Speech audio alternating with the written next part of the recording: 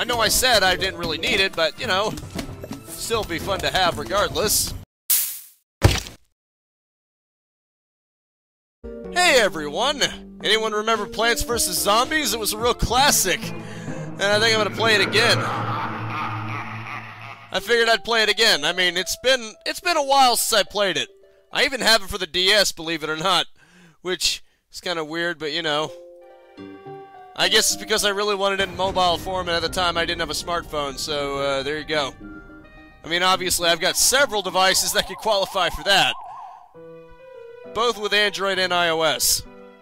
I am a I am an Android guy, but that doesn't mean I don't have some iOS devices too. Mostly because other family members don't want them, and you know they're actually actually have decent hardware. And by that I mean I've got an iPad Mini 1 and I've got an iPhone 6s Plus. Obviously not new equipment, especially the Mini 1. It's actually quite aged, but one good thing about it is it's good for 32-bit games, since seeing as how iOS 11 stupidly removed compatibility for 32-bit games. Which, why would you even do that? That doesn't even make any sense. I mean, I'm pretty sure for the most part, you can play older 32-bit PC games on a 64-bit version of Windows, so, uh, I, I, just, maybe I just don't get it. Maybe there's an efficiency thing that only can only occur if you absolutely remove. But maybe they should have had some kind of algorithm program to automatically convert apps and games over to 64-bit, because there are many of them for example, Do Doom RPG that no longer work. Well, Doom 2 RPG that no longer work on the... They no longer work on iOS 11 and up because it's 32-bit, which is a shame. Because it meant that I had to emulate it. I would have rather recorded it. I can easily record iPhone as I as I proved because I I have recorded games with it in the past. Like I recorded the mobile version of Grand Theft Auto San Andreas. I also did Portal Pinball, and of course I did Shadowgun Legends, probably my favorite shooter for phones. But then again, I know that's really not saying much, but you know, seems like Madfinger, they really put in a genuine effort. I mean, yeah, I know it's free to play and it's basically with the premium stuff, but it's still a fun game to, pl to actually play, which is more than you can say for, mo for most shooter games on a phone. And I think it's a really good I think it's a really good function how you can have the you can have the gun auto shoot when you got the cursor on the enemy, which it, it feels really natural to control is what I'm basically saying here. It, it feels very nice to control with a touchscreen because otherwise you would have to be pressing a button and it just makes it feel off.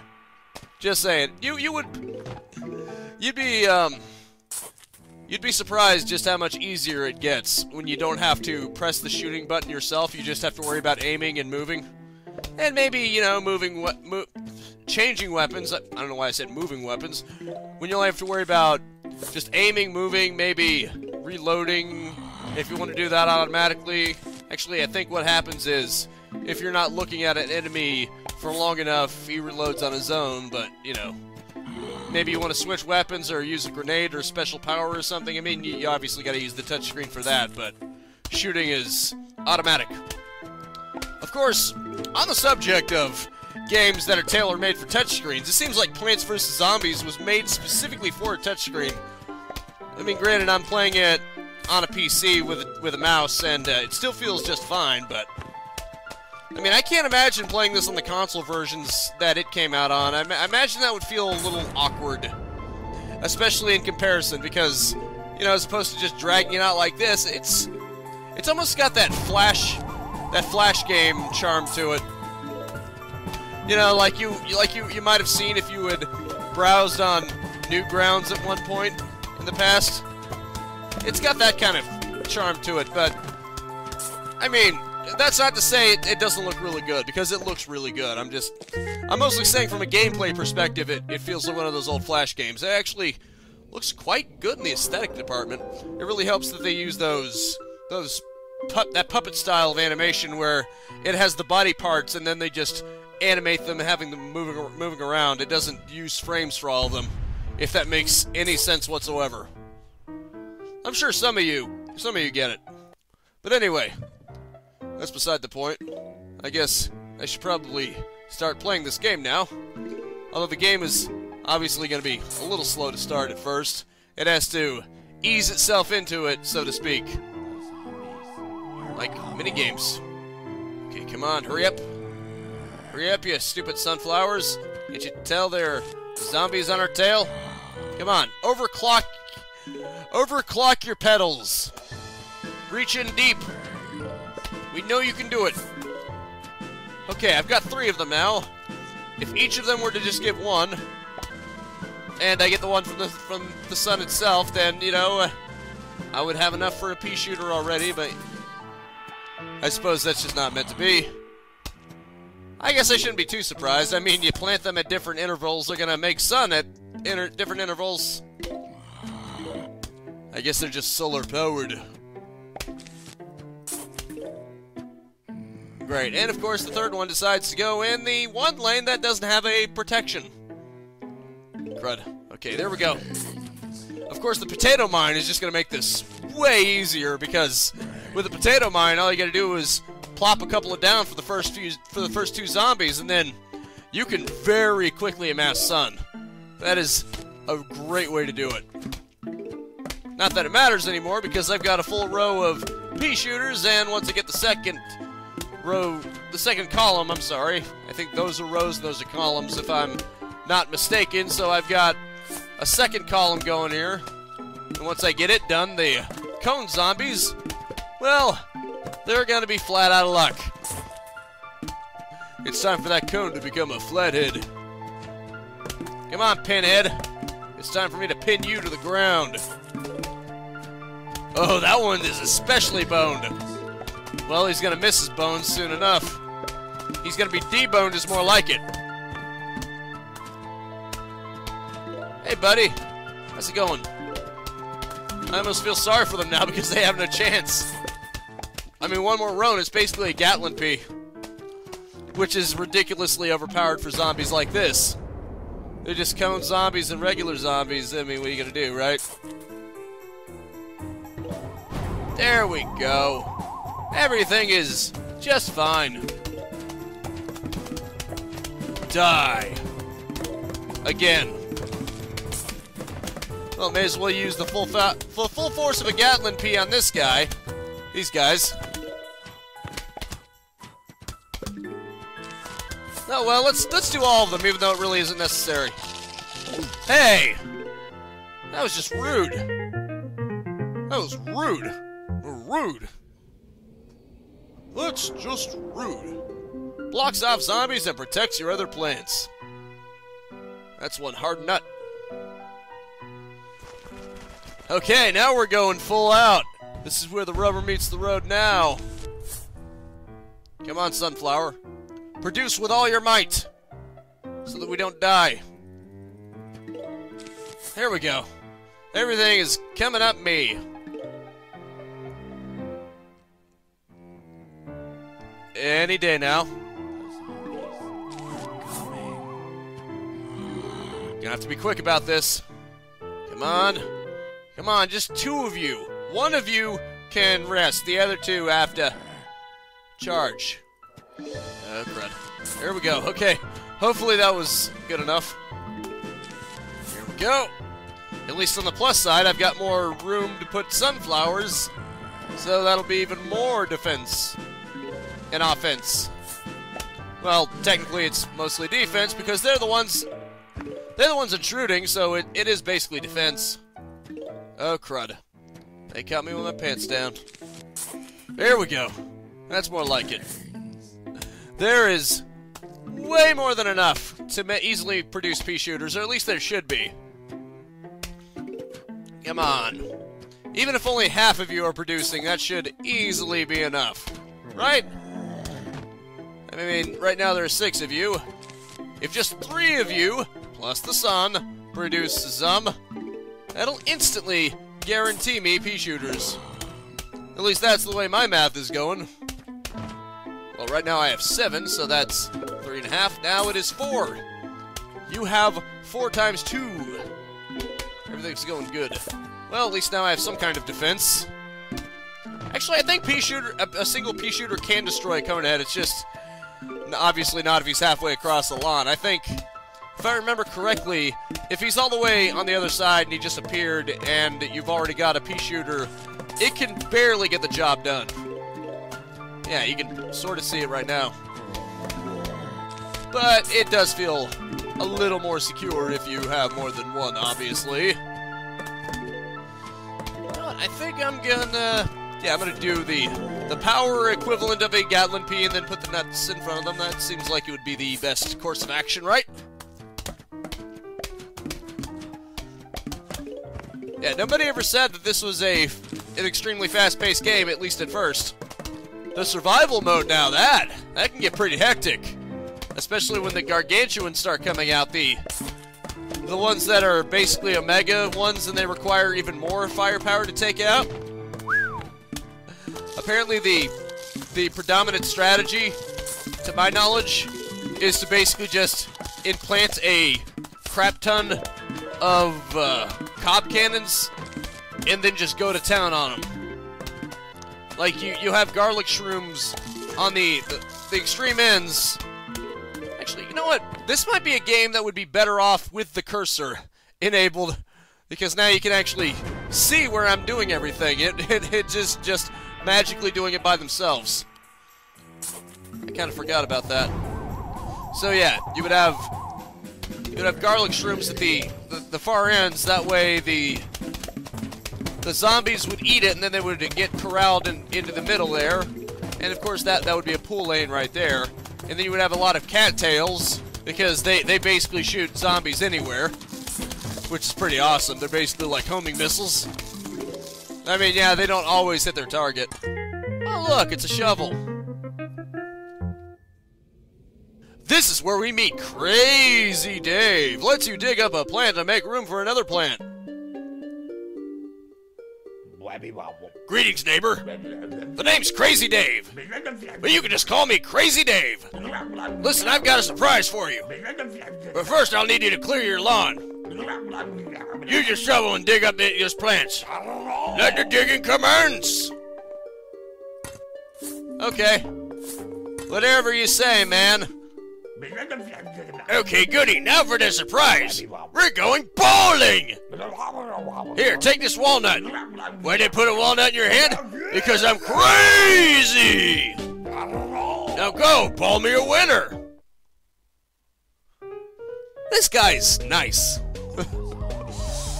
I mean, I'd hang out with him. Maybe even have a drink with him. Why not? He seems like an up on. He, he seems like he's on the up and up.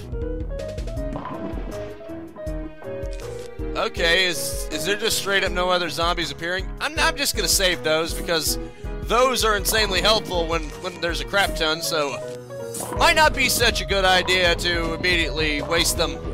Ah, there we go. That's good. It's good to get the combos going. Actually, I don't think you can get coins yet, so it doesn't really matter, but at some point after you get after you're able to get coins, it's it gives you coins too, which helps when you're trying to buy stuff, you know, like the special plants. Like the aforementioned Yeah, I think the garlic shrooms you have no, not the garlic shrooms, just the garlic plants. I think those ones are basically the ones you have to use in-game currency to buy. I mean, it's not really a game where you it's not really a microtransactions game. I mean, even the second one was surprisingly light on it, considering this is EA we're talking about. But at least Pop PopCap had the integrity to not make the microtransactions too big of a deal. And it is it, it, it was free to play when it came out, so I mean, they had to make their money back somehow. At least they didn't impose time limits on you just to play the game. I mean, there was a time limit to get basically special powers that automatically power up your plants when you plant them. It does make, it does help, but I mean, you don't technically need them, and you can get those for free just by waiting for the seeds. So if you're having trouble with it, just wait for the seeds. It doesn't seem too bad. That's pretty much only if you're having trouble, though. I would imagine. This is getting fun. Okay, watch this. Oh, yeah. And I still got three of them. So all I gotta do is just let them get let them get concentrated enough and I can just blow all of them up. Fun times, right? Let's let's make an example out of that flag guy. That should break up their morale. And now we just blow them up. Oh, looks like one lane survived. Not for much longer. Ah, here we go, the potato mine. That's where my strategy finally comes to fruition. Explodes on contact, but takes time to arm itself. This is where things get interesting. Heh. Now for the the winning strategy that probably everyone knows about by now because everyone probably uses it because it's so obvious. Don't even have to plant any defensive plants yet. I just sit here and farm sun until the third zombie. Because those zombies do take forever. Here you go, buddy. See, it's that simple, isn't it? That way you can just focus on getting the sunflowers down. You don't have to waste sunlight on getting those pea shooters out. You can just keep plopping these guys down. And then by the time there's an actual threat, as in more than one zombie at a time, you will have had so much sun production it won't even matter. It'll just be effortless. Okay, come on. And you can also use the second one. That really helps. Spudow achievement. Spudow indeed. Spudow! Almost sounds like a sort of potato martial arts. Spoodow! Or maybe it's a battle cry. Spudo, spudo, spudo, spudo, spudo, spudo, spudo! Wow, that doesn't roll off the tongue, does it? It's not exactly an ora, ora, or a muda, muda, muda, muda kind of situation here. Spudo! Spudo, spudo, spudo. I mean, you can you can sort of make it work if you just axe the S. But then again, it won't even sound like itself. Spud, spud, spud, spud, spud. No, the S makes it a tongue twister, and unfortunately, if you get rid of that, then you're pretty much getting rid of the pun. So, yeah, it's unfortunate. Okay, let's get this gun. Let's get this started of course. These are especially going to come in handy this time because those pole vaulters, they rush at you. But of course, once they've gone over a plant, then they just become regular zombies, making it very useful to have them trip over the nuts. For obvious reasons. See? Then they become weak and slow. Perfect fodder for your plant army. I will rule the world with these plants. What I'd like to know is why the guy keeps unplanting them every time. It's like every other day. Do these plants just... Are they basically super mutants that can only last a day or something? Do they just rot away after every day? I can understand maybe the ones that the zombies have eaten staying gone, but... If you've got an entire unstoppable army of plants, and then the next day you're, you're pretty much back at square one, that, that says a lot about your ineptitude as a gardener. Are we sure that the main character here who controls all the plants isn't, isn't actually a very sucky gardener? Because that's the impression I'm starting to... That's, that's the question I'm starting to ask myself here. If he is the kind of person who would have all of his plants just, just up and vanish the next morning, it seems like he's not very good at keeping plants alive is what I'm saying. Just saying. Actually, I'm going to blow him up. There we go. Much easier than having to deal with it. There we go. Everything is just fine. Just a little more and you are dead, friendo. You really think you can handle three of them with just an arm? Ooh, the ice room. Now this is a good one. Shoots frozen peas that damage and slow the enemy. It puts them on ice to say the least. Although it isn't really helpful to have more than one per column. Per row, I mean. There, there's really no point in having more than one per row because, I mean, it's going to freeze them enough anyway. It's not like there's going to be a, so many zombies that it just becomes overwhelmed. And of course, when one zombie gets slowed down, the other one's going to move at normal speed, go ahead of it, and then it'll get shot, and then it'll get frozen, and then it'll be a, be a lovely little pattern now, won't it? Hey, buddy. How's it going, friend? Oh, don't mind me. We got plenty of time before you meet your death. But in the meantime, how's it going, pal? How's the afterlife treating you, huh? I mean, I may as well make small talk while you shuffle towards your inevitable death. Either you're too stupid to realize it, or for some reason you're compelled to move forward even knowing that you're going to die. I honestly don't know which one's sadder. Probably the one where you know you're gonna die, but you, you're helpless to do anything about it. That would probably be pretty sad, wouldn't it? If they are aware that they're going to die, but they keep moving anyway because they feel compelled to.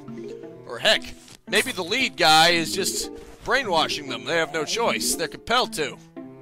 Who knows how these zombies work? Then again, they're probably so stupid they don't even realize that this is death. Ah, right. I probably should have been planting the freeze shrooms. You know what? I'll just I'll just put in this row. Why not?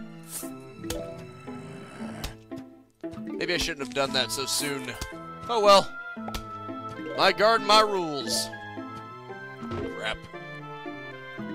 Yeah, maybe I shouldn't have been so cocky. Oh well. Like I said, my garden, my rules. He's probably not going to get over there for a while. By the time he gets anywhere near close, he's going to be dead. This cone is already starting to bend a little. And now I've got two of them. Okay, come on. Well, I was gonna get the last last regular one down, but now I gotta I gotta add some more defense over there because another conehead just appeared. Another pinhead who wants to get shot. All right, pinhead, your time is up. Now die forever. Maybe this sounds weird, but I'm one of those people that does not like temporary things in games. You know, temporary buffs. I prefer to favor things that have a permanent effect.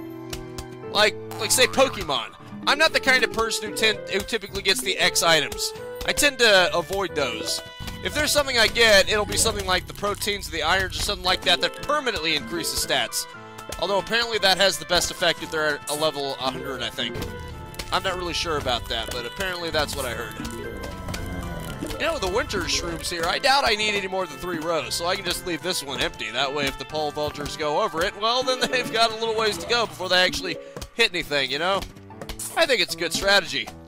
Also, I just realized this is the first one where you actually have two waves.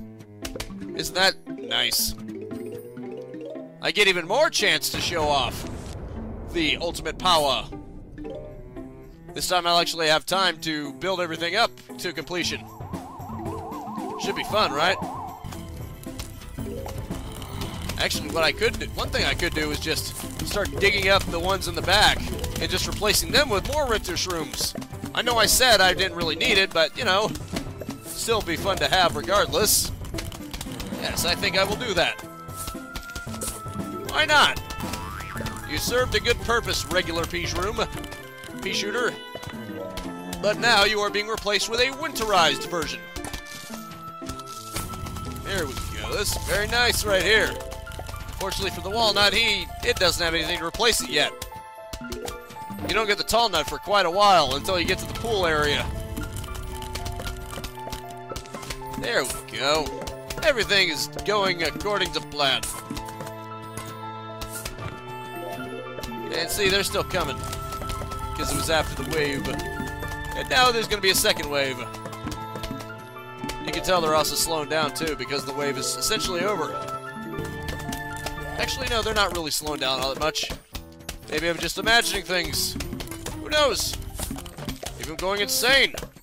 Again, that's another possibility.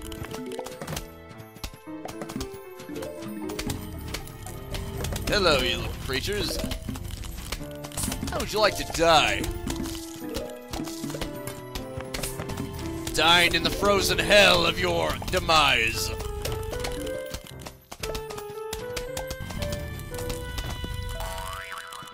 Are you turning blue with fright? You should be. Because that would be the smartest thing you've done all day.